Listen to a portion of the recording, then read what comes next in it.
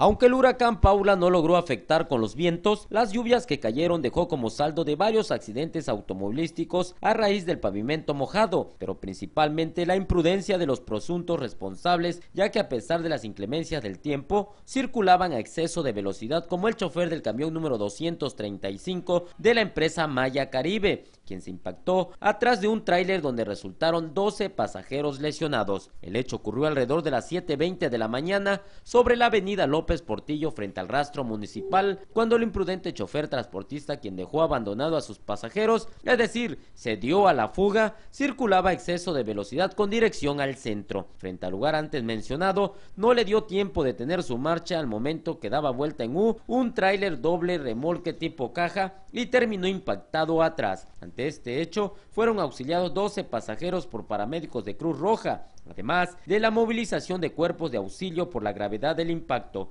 Los lesionados fueron trasladados al Hospital General y otros a la clínica del IMSS de la región 510. Otro percance ocurrió sobre la misma arteria, pero a la altura de la caseta de policía antes de llegar a la salida de la ciudad, donde la conductora de un auto Ford Focus con placas de circulación YZU 9912 del estado de Yucatán perdió el control del volante, el cual se proyectó contra una palmera del camellón central. Elsie María Gómez Vargas fue valorada al igual que su familia por rescatista de Cruz Roja. En tanto, la conductora señaló al perito de la Dirección de Tránsito que se dirigía a su lugar de origen cuando por la lluvia perdió el control de la dirección y esto ocasionó pues que se proyectara contra la palmera antes mencionada. En la cámara, Jonathan Díaz, voz Ricardo Torres para Notivisión.